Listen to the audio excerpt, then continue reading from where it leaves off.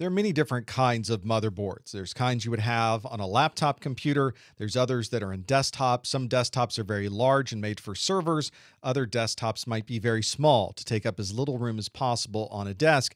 And all of these have different characteristics associated with them. One is the size of the motherboard itself. That depends on the size of the case you might be using. Another important consideration is the basic layout of the motherboard and where different parts or different components may be located on the physical motherboard itself.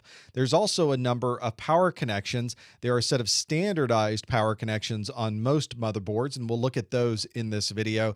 Another important consideration is airflow. Motherboards are not just designed to be functional, but they're also designed to be able to cool all of those components on the motherboard that get very hot whenever you're starting to do any type of operation.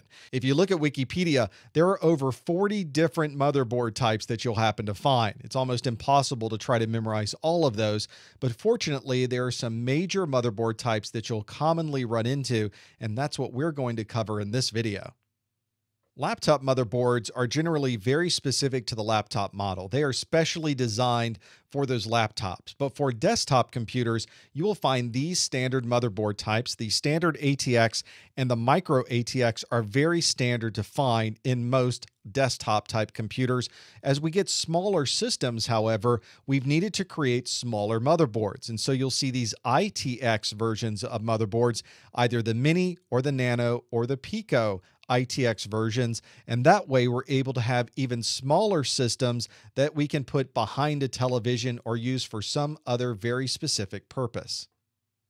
The ATX motherboard stands for Advanced Technology Extended, and it's a motherboard type that's been around since 1995. It's very standardized. It's one that was created by Intel, and there are a number of changes that have occurred to the standard since it was released. If you look at older ATX motherboards, you may find a 20 pin power connector on the motherboard, whereas the newest version has 24 pin connectors. That's because as our systems became more powerful, we wanted to put high end graphics cards and additional power and that extra power that is on the 24 pin connector allows us to do that.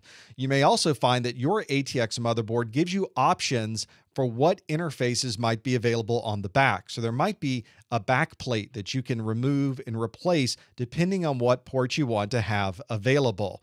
This is a very standard motherboard. You can find motherboards available for purchase that are ATX motherboards today. And it's such a popular format that it's feasible to see the ATX motherboard be available for many years in the future.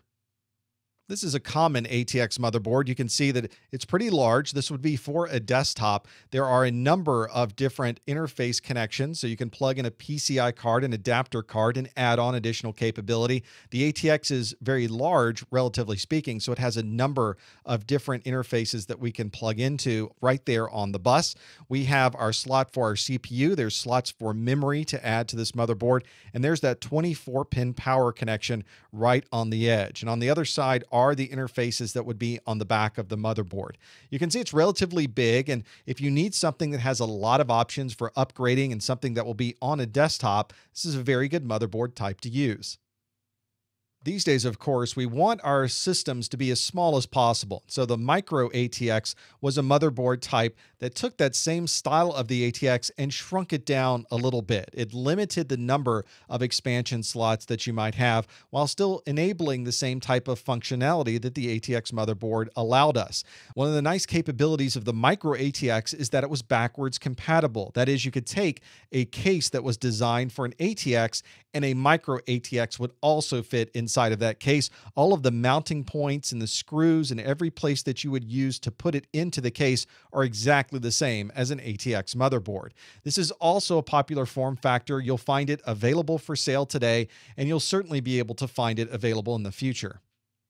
Here's a picture of a micro ATX motherboard. You can see very similar to the last one we were looking at. That was the ATX size. It has a space for your CPU. There's the memory slots, but you can see the number of expansion slots available is a lot less than the ATX we were looking at. It's the same functionality on this board, just in a little bit smaller form factor.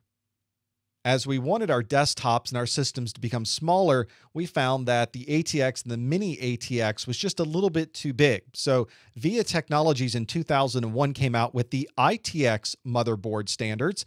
This particular motherboard standard allows you to have a lot smaller of a motherboard. In some cases, with the mini ITX, you can see it only has a single expansion slot available on it. It still has the standard power, but there is certainly a lot less space on that motherboard. And so there's a lot less features available on that motherboard.